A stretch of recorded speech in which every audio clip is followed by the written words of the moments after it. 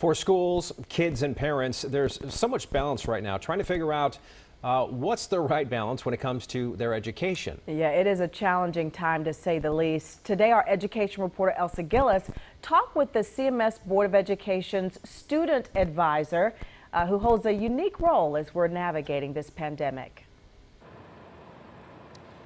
Yes, Gabe Schul is balancing being a student in this new remote learning world, being an advocate for his peers, part of the CMS Board of Education, and working to get tangible information out to the community. And I think he shared a lot of good advice and information that many of us can take something from. Ardrey Kell Jr. and CMS Board of Education student advisor Gabe Schul says it's a challenge for students right now, from staying motivated to balancing new technologies and missing out on important moments, especially for seniors.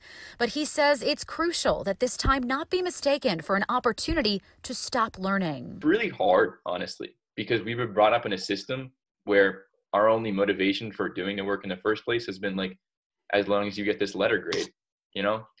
So I think that's that's tough for students, but it kind of needs to be drilled in that like this isn't a vacation because people are suffering through it. So we should treat it with the same respect. And he says when the district looks at remote learning, much of the focus should remain on equity. I think that's the the ultimate thing that we need to look at before we start like grading or anything like that is how accessible it is for everyone. Schul also brought up an important point about the impact this time can have on mental health for a lot of kids who are forced to stay home and forced to be absent from those same social interactions you know? That's a really important way for kids to find, to find an outlet.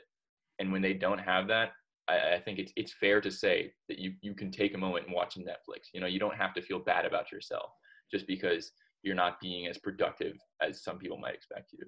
Schul did say in speaking with other students, something many are liking about this time, being able to self-regulate when it comes to learning. And he says there seems to be a little less stress when it comes to schoolwork right now. Back to you. Yeah, they are becoming more independent through all of this.